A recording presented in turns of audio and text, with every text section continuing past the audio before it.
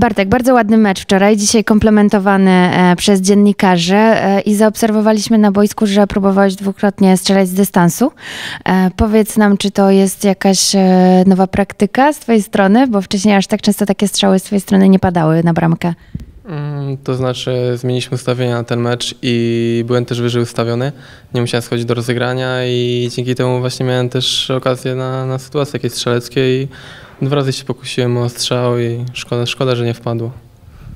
Miejmy nadzieję, że w kolejnym meczu e, to się uda, jeżeli ustawienie się nie zmieni.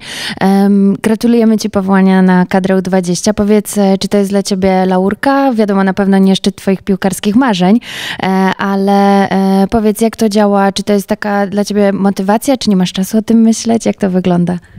No na pewno fajna to jest sprawa, ale tak jak wiadomo jest to tylko dopiero pierwsza pięćdziesiątka i, i będę walczył, żeby dostać te powołanie na Mistrzostwa Świata U20, tak, żeby załapać się do tej e, wąskiej kadry i mam nadzieję, że swoimi występami pokażę, że zasługuję na te powołania.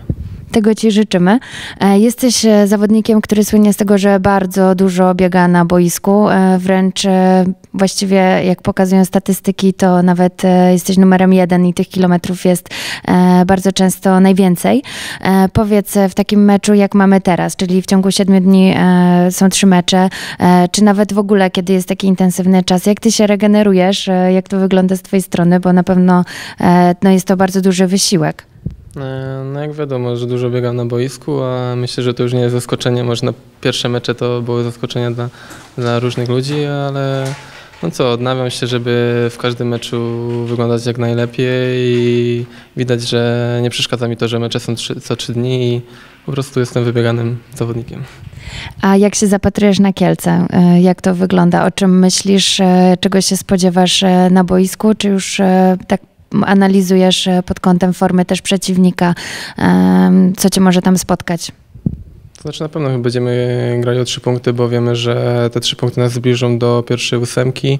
E, Myślę, że wyjdziemy i będziemy grali swoją piłkę po prostu i e, pokażemy tak jak w tej rundzie, że, że dobrze gramy w piłkę i na pewno będziemy chcieli wygrać te spotkanie.